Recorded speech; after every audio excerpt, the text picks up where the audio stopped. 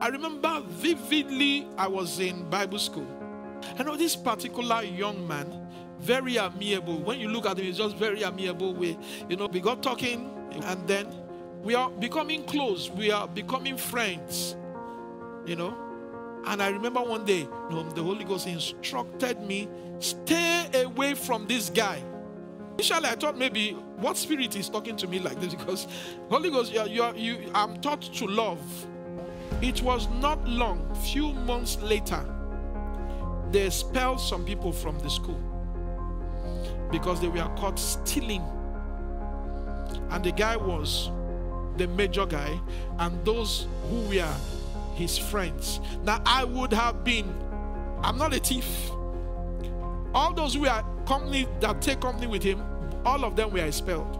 Even though some of them didn't, you know, uh, do that with him, but they called him, they called all those who are his friends because they were like, okay, if you are his close friend, then that means you knew about this and you did not bring it to the school authority then you are not worthy to be here. They expelled all of them. And that was what saved me. I would have been expelled for not doing anything. If I didn't listen to the Holy Ghost,